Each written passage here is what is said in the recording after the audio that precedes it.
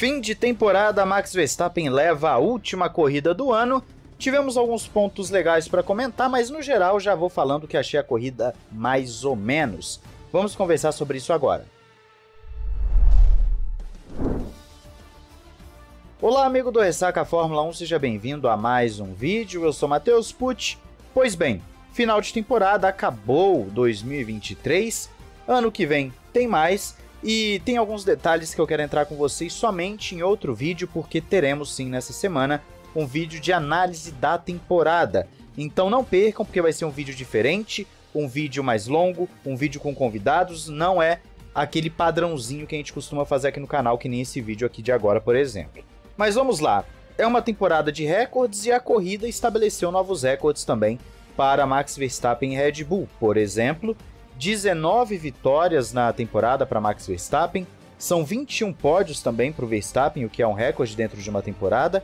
É um piloto que sozinho venceria o campeonato de construtores, é absurdo.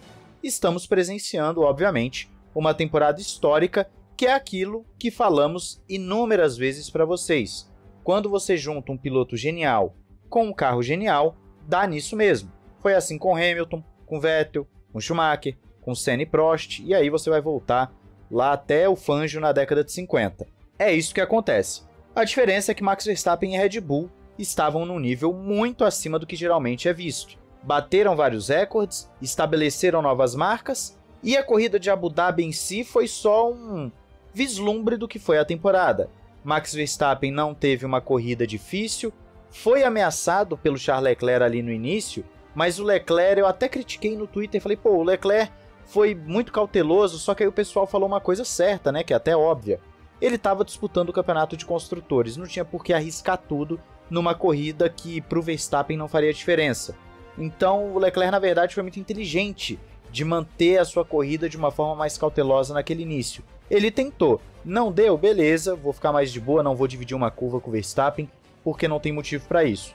Então o Leclerc está correto nessa abordagem sim. Então a corrida do Verstappen foi muito tranquila, foi uma corrida simples, uma corrida que assim como o campeonato dele, foi abrindo a sua distância para os seus rivais, não teve concorrência, a equipe trabalhou bem, não teve problemas efetivamente, um ou outro incômodo ali, ah, tem um problema aqui no câmbio, não sei o que e tal. Nada demais, assim como a temporada dele também foi muito tranquila. É aquela exibição só para fechar a temporada. O cara faz uma corrida segura, dá o zerinho depois da prova, o zerinho legal, sai já logo de cara, né, da placa de primeiro lugar. Tá leve, tá feliz, ou seja, o cara tá no auge da carreira e 2023 foi um passeio pro Verstappen e para Red Bull. Tanto é que a Red Bull se dá ao luxo de fazer que nem a Mercedes, por exemplo, fazia de ir no pódio botando outras pessoas sem seu chefe de equipe, porque ganha tanto, que aí você pode botar a equipe inteira para estar tá lá revezando, corrida após corrida. Agora, tirando o Verstappen da equação, o que nós tivemos nessa corrida? Aí é que ficam as batalhas, principalmente a batalha pelo vice-campeonato de construtores.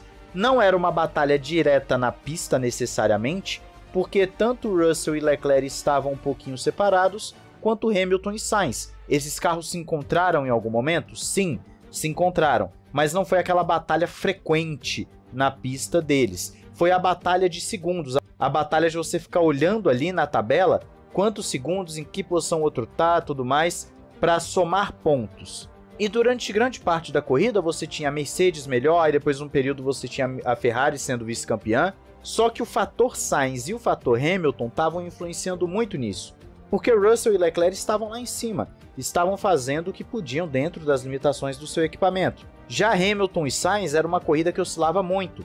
O Sainz claramente com o carro ainda sofrendo dos danos das duas pancadas, porque a Ferrari não trocou tudo que podia, então é um carro que está desequilibrado, um carro que você vê que não estava performando desde a sexta-feira, e o Hamilton também numa corrida ali de sobe, desce, ganha posição, perde posição, para no box, sei o que, foi uma corrida em que gerou essa expectativa em termos de quem vai conseguir. No final das contas, dois eventos acabaram influenciando diretamente esse resultado, que é o que?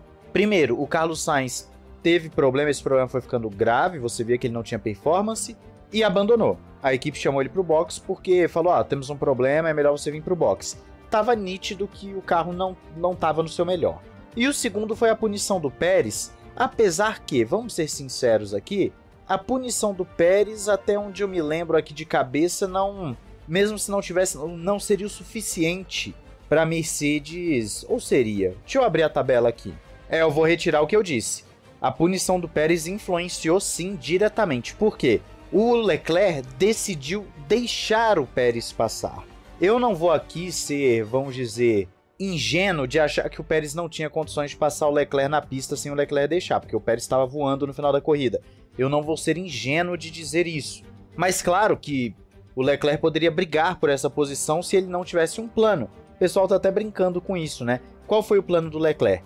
O Pérez tem uma punição de 5 segundos. Ele tá voando.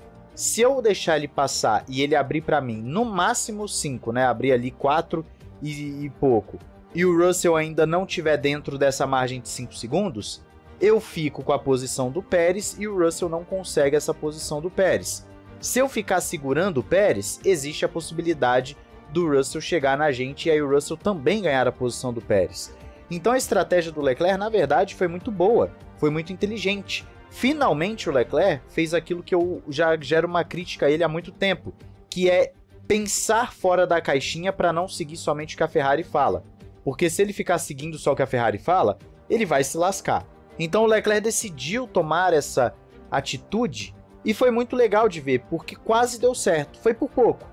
Quase deu certo esse plano do Leclerc. O Russell ainda ficou com a posição do Pérez, o que deu três pontos a mais para o George Russell, que foi justamente o que fez a diferença no campeonato de construtores. Caso contrário, a Ferrari seria a vice-campeã. Então, se o Pérez não tem a punição e o Leclerc briga diretamente com ele e tenta segurar a, a posição à frente do Pérez, ou então, se mesmo com a punição o Russell não tivesse dentro dos 5 segundos, a Ferrari conseguiria porque ficariam empatados e a Ferrari tem a vantagem de uma vitória do Sainz lá em Singapura.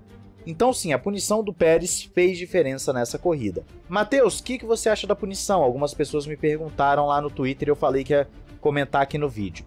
Para mim, toque de corrida. Eu sei, muitas pessoas acham absurdo. Para mim é toque de corrida, gente. Eu não me recordo de alguma coisa nessa temporada em que eu falei que o piloto deveria ser punido. Tô falando de disputa roda com roda. Não tô falando, por exemplo, daquilo que o Verstappen fez com o Ocon, que para mim é passível de punição no qualifying. Tô falando de disputa roda com roda. Teve alguma coisa nessa temporada que eu achei que deveria ter sido punido? Sendo bem sincero, eu não lembro porque na maioria das vezes eu acredito que é normal de corrida, um piloto querendo defender a posição, outro atacando.